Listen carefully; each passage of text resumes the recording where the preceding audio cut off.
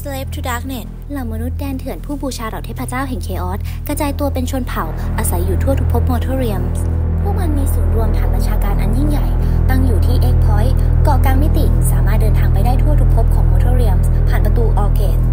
เจ้าผู้อยู่เหนือเหล่า Slave to Darkness ทั้งปวง คือ Archaon the Everchosen ราชันของเหล่ามารจอมทัพผู้ทำลายโลกเก่าชายผู้ถูกเลือกโดยเหล่าเทพแห่ง Chaos ทั้งสี่ ยามออกศึกอาเคออนจะขึ้นขี่สัตว์อสูร Dorghar ที่ได้ดูดวิญญาณของ Greater Daemon ของเทพแห่ง Chaos ทั้งสามเข้าไป